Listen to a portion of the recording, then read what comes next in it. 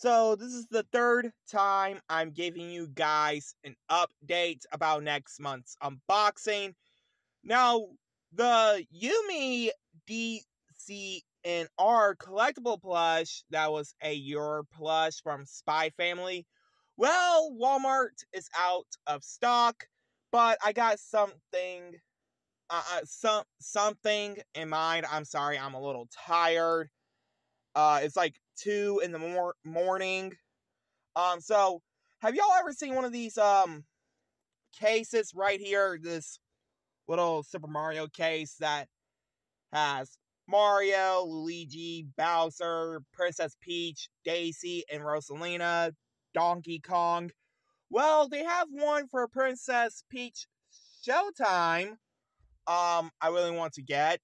Um which I haven't had a chance to buy yet, which I will review it next month for an early October unboxing. Well, okay, September, I mean.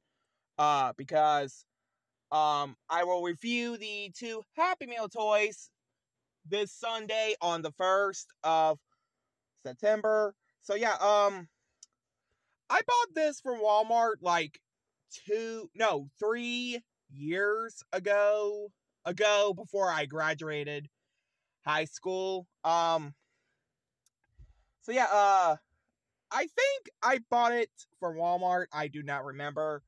And the Jazwares, uh, Total Anime Heroes plush, which I was originally supposed to get two of them. One of them was a My Hero Academia one, which is Izuku Midoriya.